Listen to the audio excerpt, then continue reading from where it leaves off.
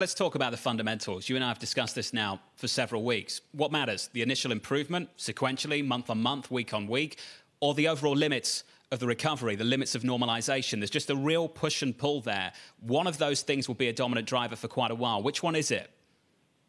So it's now both because of the level of the marketplace. So in the beginning, it was about the, the, the sequential improvement.